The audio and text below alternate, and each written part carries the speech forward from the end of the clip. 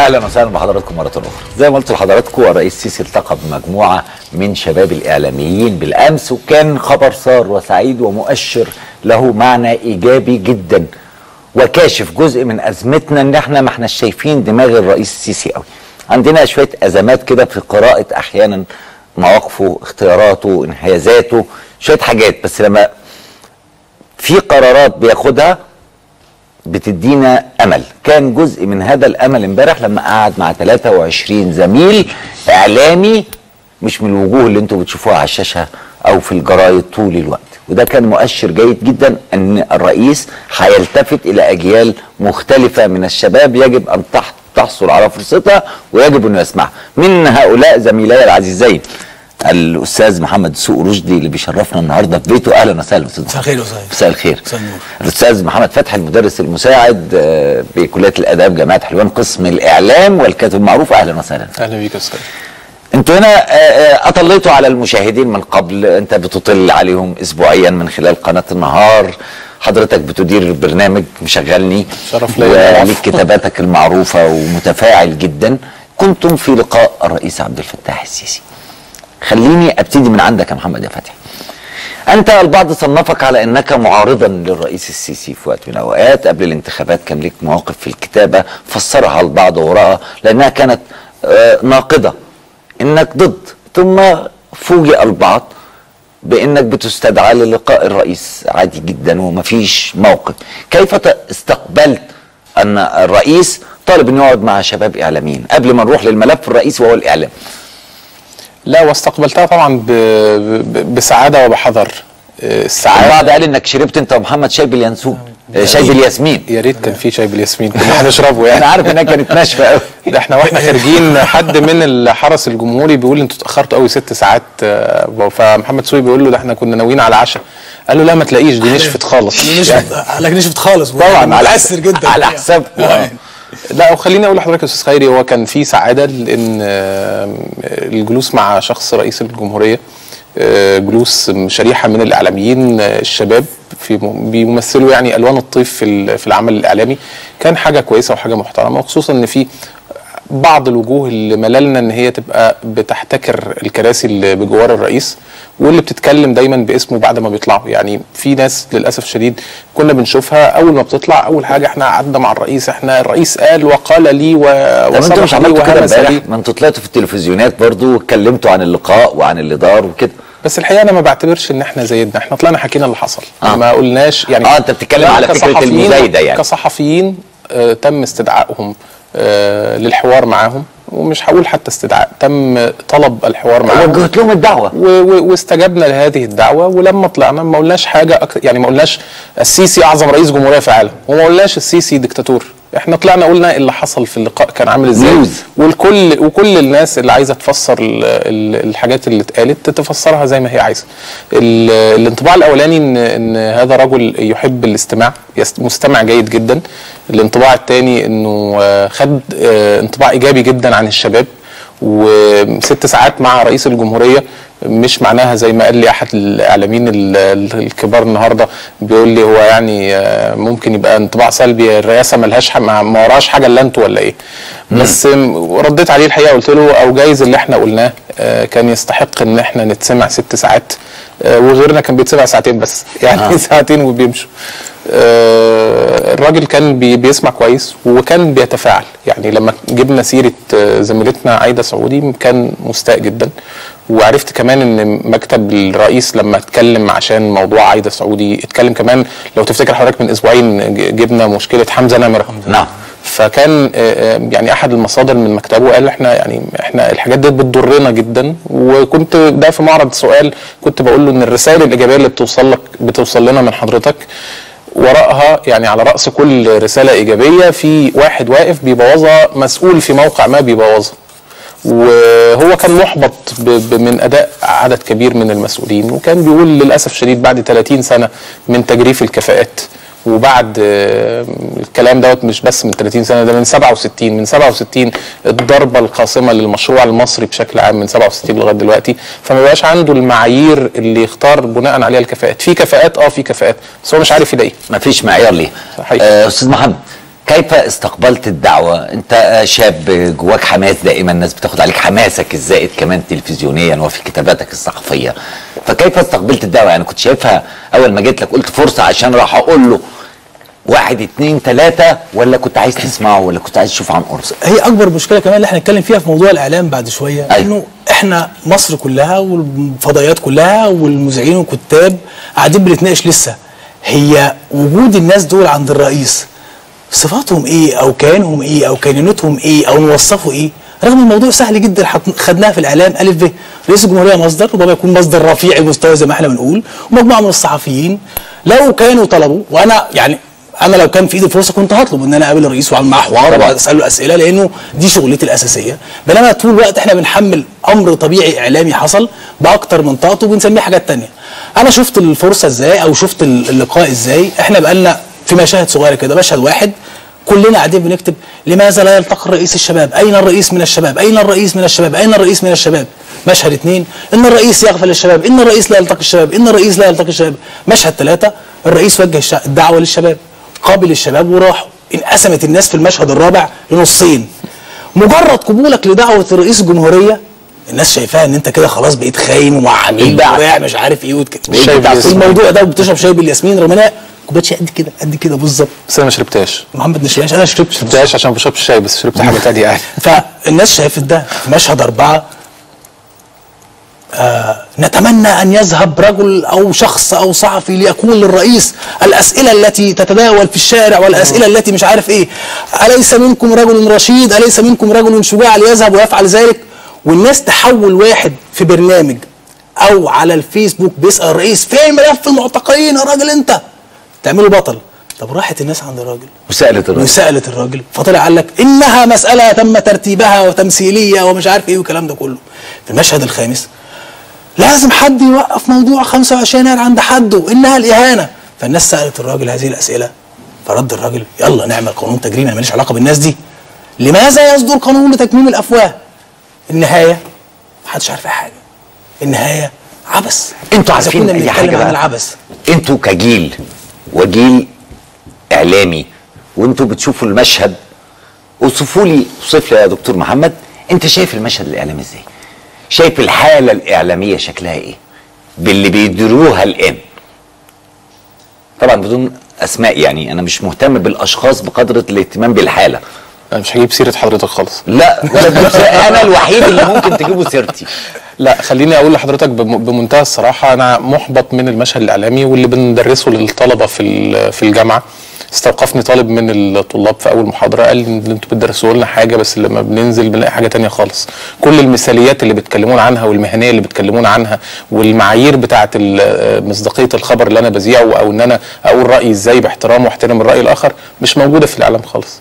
للأسف شديد في الإعلام ال- في المشهد الحالي يا أستاذ خيري بيفتقد لكثير من المهنية وبيشتبك في حالة عبثية جدا جدا جدا لتصفية الحسابات. في تصفيه حسابات مع الماضي ايا كان هذا الماضي. في تصفيه حسابات مع آه، سياسية مع آه، 25 يناير. في حالة من التطبيل الزيادة للسيسي للشخص الرئيس السيسي. تطبيل مبالغ فيه. تطبيل يضر الرجل ولا ينفعه.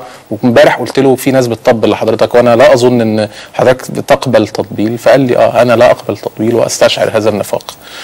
آه، الحالة ديت يا أستاذ خيري ما بتديش ال- المشاهد أو المستمع أو حتى قارئ ال- ال- الصحف ما بتدلوش مصداقية في الاعلامي اللي قدامه وخصوصا إن أنا بعتبر من أساسيات الإعلام إنه يعيد ترتيب أولويات الناس. فإذا كان آه، في نظريات الإعلام في نظرية اسمها آه، نظرية ترتيب الأولويات فأنا بعتقد إن القضايا الحالية هي قضايا بناء هذا البلد والتنمية. هي دي القضايا اللي المفروض تكون مقدمة على فكرة إن فلان خاين فلان عميل وأطلع تسريبات وأشتم أقول مش عارف مين اللي هيقول عليها كده هديله على قفاه.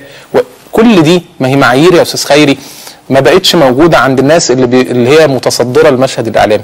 فالناس فقدت آه، الكثير من من الثقة في عدد كبير من المتصدرين للمشهد الإعلامي. وخليني أقول لحضرتك بالبلد يعني للأسف الشديد معظم الناس المتصدرين العمل الإعلامي وخصوصا على الشاشات متعورين بشكل أو بآخر. المتعورين من تجارب الماضي متعورين من الأداء الإعلامي اللي ممكن تلاقي مذيع طول عمره ما كانش معروف قوي بس فجأة آه، آه، لقى إن الصوت العالي بيجيب ناس وإن الهستيريا اللي ممكن بيتكلم بيها تخلي ناس تتعاطف جدا معاه من الهستيريين اللي زيه فافتكر إن هو ده الإعلام. فبقى ده معيار الوطنية عند بعض الناس إن أنا أزايد على الناس وأصنفهم وأقول ده خاين ده عميل. إن أنا أدخل حد على التليفون يقول لي تفاصيل بلاغ فاعتبر إن بلاغه دوت هو حكم نهائي. فأصدر حكم أنا الشخصي كمذيع وهو مش المفروض من المذيع ولا الصحفي ولا أي إعلامي إن هو يصدر أحكام في الناس. المفروض يا أستاذ خيري أو ما نظن أو ما نتمنى إن هو يحصل إن الإعلام يركز شوية على فرع كده كنا بندرسه في الإعلام وحضرتك عارفه الإعلام التنموي. ويركز على إعادة ترتيب أولويات الناس ويركز على آه، تصدير النماذج الجيدة اللي يستطيع من خلال ما, بتكلمش على النماذج الجيدة إن أنا برضو أطبل أو أزمر. بس كمان بتكلم جنب كل ده إن أنا أظهر الصورة اللي بتخلي الناس تصدق الجزيرة. نعم. هو ليه في بعض الناس إلى الآن بي- بيصدقوا الجزيرة؟ لأن الصورة اللي بتقدمها الجزيرة ايا كانت حتى مهما فيها مهما كان فيها من مبالغات لا تقدم لا يقدم الجانب السيء مما يحدث على الشاشات، يعني لو في قهر لحقوق الإنسان ما هو لأن خد بالك ما هو جايز يكون رد فعل أنه القنوات الأخرى دي الجزيرة وما شابهها والقنوات اللي طلعت بعد كده لا تقدم إلا السيء. فأنت في بتحاول تعمل توازن فلا تقدم إلا الطيب. ما بتشوفش الوحش. طب هو إيه المشكلة إنك تقدم الاثنين؟ إيه طيب المشكلة انك إحنا تقدم بنجود؟ لدرجه إنه يبقى أسوأ من السيء. يعني في ناس بتجود في الحاجات بتبقى أسوأ, أسوأ من السيء. إحنا ما بنقدموش طيب ابدا. يعني اللي بيحصل ده مش طيب. اللي بيحصل إنه آه يطلع حد يقول لك أنا آه أدعو من دولة 3 3 7 أو 30 يونيو أنا أدعو من الرئيس أنا أدعو من الدنيا. طب خلاص كلمنا عن مشروعات الرئيس. أنت ليه شاغل نفسك بإنه ترجع لي تحيي لي ناس أصلا ماتت؟ شاغل نفسك ليه بفلان خاين وفلان عميل وأنت معكش دليل؟ شاغل نفسك ليه بفلان عندي فيديو نقعد نتفرج على الفيديوهات؟ ما نلاقيش فيها أي طب حاجة. هي- أنت ليه ما بتؤمنش بإنها جزء من حرية الإعلام؟ فزي ما في أصوات تانية بت... بتقول ده أو بتنتقده أنت ببرنامجك بتقول اللي أنت عايزه فمن حق أي حد انه يقول اللي هو عايزه. إلى أي مساحة؟ إلى مساحة إن هو مين اللي وصي؟ هيحدد المساحة؟ إلى؟ أي مساحة إن هو وصي وقاضي؟ إلى مساحة الخوض في الأعراض؟ إلى مساحة اتهام الناس؟ هنا القانون هو اللي. يرضعه. يعني أنا هو كاعلامي انت بتطالب بمعايير تطبق حسب رؤيتك ولا هنحتكم في النهايه إلى المعايير العالمية للإعلام. أستاذ خيري آه، خليني أقول لحضرتك معلش يا محمد آه، آه، إن لو أنا يعني هلجأ للقانون القانون لا لا يفعل. القانون للأسف الشديد في بعض الأحيان بيفعل بالمزاج. إن أنا لو في واحد عمل حاجة مضايقاني بشكل شخصي كمسؤول وأنا قادر إن أنا هأذيه هأذيه. بالقانون. ولو أنا قادر إن أنا أحجب عنه تنفيذ هذا القانون لمجرد إنه عاجبني أو أنا بحبه أو بيقول الحاجات اللي أنا عايزها هحيده. القانون يا أستاذ خيري اللي بيتوزع على الناس ملاك آه، هذه القنوات الفضائية بيقول إن ما ينفعش إن أنت تقدم من خلال البرنامج اللي بيذاع على القناة الفضائية في العقد المبرم بينه وبين هيئة الاستثمار إن ما ينفعش تطلع تشتم حد. ما ينفعش تطلع تسب بألفاظ خادشه للحياء. القانون ما بيقولش خالص إن الناس تطلع آه، عشان آه، تصنف الناس وتقول ده خاين وده عميل ويصدر الأحكام لو لو هنقول الرأي والرأي الآخر هل كل رأيك كما تريد لكن لا أنتوا الاثنين زملائي الأعزاء مركزين على فكرة التخوين والعمالة والبتاع والمسألة مرتبطة ب 25 يناير بس. لو لم يكن هذا الجزء في الملف الإعلامي يبقى الإعلام كويس؟ لا. ماذا يقدم بقى الإعلام يا أستاذ خيري؟ طب محمد اللي لا جاوب. لا هي الفكرة. كلها إنه 25 يناير بس الموضوع فيها هو نموذج فج شوية. أيوة. نموذج فج شوية عن أي حاجة. النهارده مثلا بلاش. لا، طب أنت ما بتدعيش اللي قاعدين. يتكلموا عن 30 يونيو 30 يونيو قضية الشيعة. قضية الشيعة. تمام. تعال نبص أي برنامج في مصر أو أي جورنال في مصر ناقشها إزاي. ونخرج فيها بان في النهاية بيتقتل حد. قضية التطرف. هل التعامل مع الإخوان المسلمين إن إحنا نطلع نقعد نقول إنه فلان وعمل كذا وفلان حضر مولوتوف وفلان كذا إحنا حتى هذه اللحظة لم يكون في مشروع إعلامي واضح بيقول للناس إيه اللي موجود في كتب الإخوان المسلمين وإيه اللي مش موجود في كتب الإخوان المسلمين. إحنا بنشتم بس في الإخوان المسلمين. إحنا لما بنطلع مثلا أجيب مثلا مقال قديم لسيد قطب وأنا بحب اعملها طول الوقت في البرنامج. فاكرين يا جماعة لما سيد قطب كان بيقول إن الجيش المصري لازم يضرب بإيد من الحديد على إيد خميس البقري ولازم يعدمهم. طيب فاكرين دلوقتي إن الاخوان المسلمين شايفين المظاهرات دي عيب وحرام طب فاكرين لما حسن البنا تبرأ من الناس بتوعه في بعد مقتل النقراشي وقال ليسوا إخوان ليسوا مسلمين؟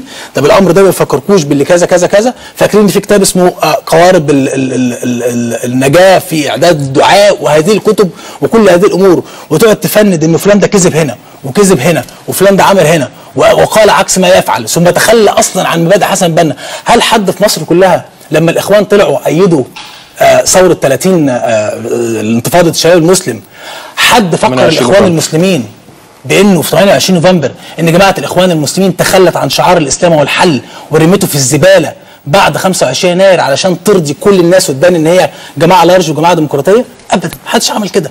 أعتقد إنه الأمر كفيل بإنك تحط تناقضات هذه الجماعة قدام الناس الناس هتضرب لك تعظيم سلام وتعرف إن قدام ناس رفع عنهم غطاء الدين وغطاء السياسة. لكن إن فلان خاين إن فلان سرق إن فلان عمل طب قدم لي ورق. قدم لي ما بتشوفوش. إن ده له علاقة شوية يعني أنا بحاول أتلمس معاكم وأنتوا بتقيموا. إن الإعلام برضو مجني عليه وإن الإعلام ده لعب أدوار مهمة جدا ولكن مر بوعكات وزي حالة الضبابية الموجودة وعدم وجود شفافية حقيقية من الحكومة. مفيش حاجة بترسخ تداول معلومات ما عندكش؟ انت ثلاث أرباع المعلومات لا حد بيأكدها ولا حد بينفيها. فانت ما بتلتمس العذر شوية لزميلك اللي موجود دلوقتي انه بيشتغل في حالة من الضبابية فبتعتمد على وجهة نظره ورؤيته. ده أكيد لأنه الإعلام جزء من المجتمع اللي كل حاجة فيه مترهلة وفاسدة وبايظة. بس الفكرة كلها إن مراجعة الإعلام لذاته كان لابد أن تكون أسرع بكثير جدا من أي من أي آآ آآ مؤسسة تانية في الدولة دي لأسباب تتعلق بإن إحنا بننصب بعضنا وربما إحنا كمان من غير ما نقصد بننصب أنفسنا قضاة على هذا المجتمع. إحنا اللي بنشكل وعي الناس إحنا اللي بنتكلم على بنتكلم الناس طول الوقت. إحنا بنقول لهم خلي بالكم من الحتة دي إحنا بنقول لهم إحنا ممكن نعمل مشكلة ما فيش. زي مثلا النهارده وكالة أنباء الشرق الأوسط عملت مشكلة ما فيش. دمرت رئيس الجمهورية بمعنى أصح النهارده بما فيش. مشهد بسيط جدا. آه، آه، كان في video conference النهارده بيتذاع من أماكن مختلفة. في فيديو فيهم كان مسجل وطلع آه، آه، اللي هو آه، آه، الألفي رئيس آه، تقريبا الألفي رئيس ال- ال- محمد الألفي. الهيئة الهندسية. قال له يا فندم الفيديو ده مسجل. عشان فقدنا الاتصال. فقدنا الاتصال فهذا فيديو مسجل. كانوا عاملين plan B. تمام. فلما أذيع الفيديو ظهر فيه مهندس مدني. تقريبا ده كان المهندس المدني الوحيد المسؤول عن فتح المشروع. تمام. تقريبا. فهم بيذيعوا الفيديو جيت الصورة. بس مشوشه شوية. فالرئيس عبد الفتاح السيسي حب يداعب هذا المهندس المدني الوحيد في وسط الناس كلها فبيقول له وانت اسمك إيه بقى يا باشمهندس؟ فقام الخط قاطع تاني. فتطلع النهارده وكالة أنباء الشرق الأوسط الوكالة الرسمية تقول إنه الرئيس بفطنته أدرك أن الفيديو مسجل. ابدا ما حصلش كل ده. وتبني على ده بقى إن الرئيس قال قبل كده أنا ما حد أنا ما حدش يقدر عليا أنا بفهم في كل حاجة. فيتم تقديم الرئيس في ليس ثوب على الإطلاق. آه إن هو تقدم الفيديو على إنه خدعة وإنه لايف فالرئيس بقى اكتشف آه، فراح بقى- اسمك إيه عشان يثبت هو يعني نفس نفس الأمر اللي حصل برضه بحكمتك حين. إنه اعلن انه مسجل. نفس الأمر بتاع آه، القصة بتاعت ال- ال- الطفل اللي كان مريض بالسرطان والرئيس استقبله سابوا كل حاجة في القصة. وطلعت برضو الخبر إنه الطفل يعني تعافى سريعا بمجرد لقائه للرئيس. طب يا أخي طب قول القصة كاملة. طب اشرح للناس انه عادة في مرضى قبل كده في مستشفى السرطان لما قابل أبو تريكة وقابل أحمد حسن المعنويات بترتفع. مرتفعة. آه، لكن العلاج تقدمها بتبقى أكبر. وكأنه الراجل إله ماسك عصاية سحرية ده مش حقيقي لا هو كده ولا عمره هيكون كده ولا أي حد هيكون كده ولا أعتقد إنه ممكن يقبل إنه يبقى كده لأن. المسألة دخلت أنا آسف في الخرف اللي كان بيحصل أيام مرسي الدبة اللي بتقتل صاحبها آه. فحتى الإعلام اللي بيظن إن هو معاك هو دبة بتقتل صاحبها أنا يعني واحد من الاعلاميين لن أذكر اسمه مرة في البرنامج عندنا إحنا بنتابع الجرايد الأجنبي لقينا Le Monde Le Monde جريدة فرنسية بعيدة خالص. ذكرت اسم هذا الاعلامي وقالت الرجل الذي اعتاد أن يحرج الرئيس ويضعه في مأزق. بتعريفات بيقدمها يعني مثلا وحدة الانتشار السريع. طلع بره اتكلم عنها وقال لك إن دي بتنافس الداخلية. فأنت بتضرب جهازين في الدولة في بعض أيوه. وهو بيجود بقى خلاص. طلع مرة تانية يقول لك أصل أنتوا مش عارفين لأنه آآ آآ الرئيس عمل إيه في المخابرات العسكرية ليه الاعلامي بتاع؟ الأسطول الخامس قال لك الأسطول الخامس إحنا بهدلنا الأسطول أنتوا بتجيبوا الكلام ده. منين؟ أنت بتجيب الكلام ده منين؟ ما انت أنت عامل ليه ما بتراهنش يعني بص في كل العالم في إعلام هرتلة وفي إعلام أيوه بس مش كله إعلام هرتلة يا أستاذ أنت شايف إن كله إعلام هرتلة بالعكس 90% إعلام يشتغلوا هرتلة. عندهم إطار محترم في في التناول الإعلامي ده ليه ما بسيبوش للجمهور والمشاهد اللي بيفرز واللي يسيبه ومفيش قناه هتبقي على مذيع فاشل عندها. هو مش عشان عندك sniper. أنا خايف أقول لكم مش الجمهور جايز عايز كده. لا يا فندم عشان عندك هو sniper؟ المفروض إن حضرتك أو ال- القناة أو ال- يرضخ لرغبات الجمهور. يعني هو بقينا دلوقتي لو الجمهور بيحب رأس الاستريبتيز هل الإعلام يجب أن يمارس لا الاستريبتيز أنا على الهواء؟ بكلمك لا هنا مش ستريبتيز. هنا إعلامي بيلبي احتياجات قطاع من المجتمع أنت مختلف معاه أو مش عاجبك طريقة تفكيره. أنا ما عنديش مشكلة إن متوافق. تماما ايا كان هذا الإعلامي؟ مع هذا الجمهور هقول لك خلاص الجمهور عاوز كده ألان جريش هي الست اللي بلغت عنه دي بلغت عنه كده مش دي سمعت طول الوقت ناس قاعدين في التلفزيونات خلي بالكم الأجانب اللي. ماشيين في الشارع إنهم يقتلون وجواسيس فقاعدة في الكافيتيريا بتشرب القهوة بتاعتها سمعت راجل بيتكلم بالفرنساوي عن الجامعة يعني متعلمة وقاعدة في جاردن سيتي يعني متعلمة لكنها كل يوم بتتعرض لحقنة حقنة كل يوم لمدة ست ساعات وثلاث ساعات في اليوم. فقامت رايحة مبلغة عن الراجل. طبعا بتاع الأمن هو كمان مبقاش عارف هو مين ده أصلا. نعم. فبقى عندنا رئيس مسافر فرنسا وعندنا راجل من أهم الناس اللي كتبت في مساندة هذه الدولة. طلع من البتاع مذهول. هي دي حرية الإعلام عندكم؟ هو أنتوا بتقبضوا على الناس كده؟ فشوهت صورة الدولة بحالها علشان في شخص متخيل إن هو واصي وقادر يفهم الشعب المصري إنه في أمور تتناقش بهدوء أكتر من كده. في كمان بره ممكن يكون فيها ارتله عادي جدا صح؟ بس بره ما عندهمش سنايبر. ما عندهمش قناصة واقفين على الحدود مستنيين أي غلطة عشان يكبروها. نعم. ما عندكش إن- خلينا نتفق يا خيري إنه مؤسسة الرئاسة أو الدولة عبارة عن هيبة. لو فضلت تقعد تضرب فيها هتقع منك حتة حتة. وده اللي حصل مع الإخوان المسلمين. الإخوان المسلمين ما وقعوش علشان فشلوا الفشل السياسي بس الإخوان المسلمين وقعوا علشان خميس وعلشان مصر 25 خالد عبد والهرتله الله. اللي كان بتحصل وخالد عبد الله. وقعوا بهذا الشكل. الناس اكتشفوا إن هم مش قادرين يسيطروا. إعلامهم ساعد في بالظبط. ربما بقى إعلامنا يساعد جزء كبير من الصورة المغلوطة عن الدولة المصرية وفكرة الكراب ومش عارف إيه. هي التصريحات بتاعت انزلوا اضربوا اقتلوا. قبل حتى ما يحصل حاجة أنت بتأهل الناس إن هو ما هو ده اللي بيحصل. هو ده اللي بيتقال. طيب أخيرا عشان أنا آسف الموضوع محتاج حوارات وأنتوا ابتديتوا. رؤيتك ل- اللي بيفكر فيه الرئيس السيسي بلقائه بيكم هل ده منهج توجه رسالة للإعلاميين اللي موجودين على الساحة دلوقتي ولا هو فكر بالحقيقي عنده إن لازم أتجه للشباب في كل القطاعات؟ أنا أعتقد إن هي الأخيرة. وأعتقد إن هي مزيج من الثلاثه الأولانيين. برضو أعتقاداتك كتير. كلهم كلهم مع بعض. آه. أنا حسيت في نهاية اللقاء إن الرئيس آه، كان محتاج يسمع صوت مختلف وكان محتاج يشوف الشباب وكان محتاج ما يشوفش إعلاميين قاعدين بيزايدوا على بعض أو بيتخانقوا مع بعض. أو بينافقوه. أو بينافقوه على الهواء يعني قدامه وخلينا أفكر حضرتك بالمقال اللي كان كتبه الأستاذ مجدي الجلال نعم. بعد اللقاء. هذا اللقاء كنت آه، حاضره. أنا يعني كتب مقال اسمها أنا مكسوف. وبعدين كانوا كلهم بيتكلموا ساعتها عن المهنية. فعلى رأي عادل آدم لما كلكم فتوات امال مين اللي بيتضرب أيوة. لما كلكم بتتكلموا على المهنية امال الأخطاء الإعلام دي جاية منين؟ فأنا أعتقد إن كان الرئيس محتاج يسمع صوت مختلف محتاج يتواصل مع الشباب. والصوت المختلف اللي اتقال امبارح فيما يخص قضايا ال- المحبوسين ظلما أو المعتقلين. الصوت اللي اتقال امبارح فيما يخص أنت مصر إن في معتقلين لديك ما يثبت إن هناك ما معتقلين أنا بقول المحبوسين ظلما آه. أو المعتقلين. المعتقلين وفق التسميات بتاعه آه، عدد من منظمات حقوق الإنسان اللي لازم نسمع هذه المنظمات كويس ونتحاور معاها مش نشتبك في نقطة ما فيش حد آه، ركز فيها أستاذ خيري امبارح من النقط اللي طلعت في الحوار آه، زميلنا كريم رمزي من يلا كورة جاب سيرة سيرة الألتراس الرئيس مع الحوار مع الألتراس وليس مع الاشتباك معهم مع إن يحصل نوع من أنواع الاحتواء وليس نوع من أنواع الاشتباك هم شباب في مصر هتعمل؟ هتقتلهم يعني ولا هتعمل إيه؟ في ناس بتطالب بقتلهم في ناس بتطالب بقتلهم على في الشاشات. في الإعلام فاذا إحنا امام معضله شديده جدا مش هيحلها الا الاصوات الهادئه مش هيحلها الا البعد عن الهستيريا من الطرفين الطرف الذي يغالي في التطبيل والطرف الذي يغالي في النقد. نعم. آه محمد إحساسك بلقاء الرئيس إن في مشروع هيكمل بالنسبة لكم كإعلام أنتوا هتاخدوا فرصكم آه، هتتيحوا الفرصة وهتبقى في رؤية لتغيير الإعلام بشكل علمي ومنهجي؟ أنا أعتقد ان إحنا لازم نحاول في السكة دي. أنا أعتقد إن إحنا لازم يكون لنا تصور ولينا رؤية نطرحها. والله اخذوا بيها أهلا وسهلا والله ما اخذوش بيها برضه. أهلا وسهلا مش هحبط أنا. مكمل في طريقي زي ما أنا. آه. بغض النظر عن إيه اللي حصل. أنا بقول لحضرتك إحنا رحنا قلنا حاجات كنا نظن إن إحنا لما بنقولها ونكتبها في مقالاتنا والله العظيم كنا بنتشتم بنتشتم وبيتقال علينا طابور خامس وضد الدولة فالراجل سمع بيس بيسمع وهو مبسوط بيسمع وهو مبتسم. أحيانا كنا بنقولها وإحنا أحيانا يعني هيحصل حاجة دلوقتي. هيحصل فيه انفعال دلوقتي. لكن الحقيقة تم تقبل ده.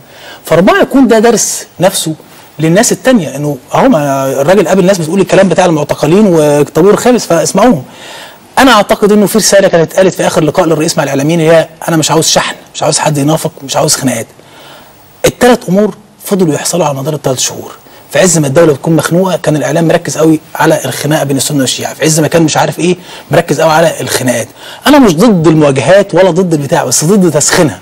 واختيار الأمر بقى في موضوع الإعلام؟ واخشى ما اخشاه وده الحاجة الوحيدة. إن أنا كنت قدام قلت الكلام ده أنا كنت قدام إمبارح شخص قادم غيظه حتى هذه اللحظة. يعطي كل فئة ملفها ويقول لها اتفضلوا اشتغلوا. هو قال الكلمتين دول اتفضلوا اشتغلوا. عليه بس أنتوا طب إذا فلت غيظه هيحصل إيه؟ هتفشلوا. ما أنا بقى خايف. ما أنا خايف من دي لأنه مش مصلحتنا كلنا. مش نعم. مصلحتنا ابدا إنه تتدخل الدولة في الإعلام. مش مصلحتنا إن إحنا المفروض نبقى نحط ميثاق شرف من قبل كده ومع ذلك كل الناس عمالة بتتخانق مع بعض. كل الناس بتتخانق مع بعض. ما حطيتش ميثاق الشرف. خايف فجأة الدولة تيجي تقول معلش اركنوا على جنب أنتوا خايبين. طبقوا ده. وقتها الدولة هتبقى قدام الناس هي الأقوى لأن إحنا فاشلين قدام الناس. طيب خليني أنا هسمع كلامكم عشان فقرتي الجاية عن الإنسان وتنمية المجتمع عن مبادرات جديدة مجموعة من المبادرات. حضرتك مكمل معايا طبعا.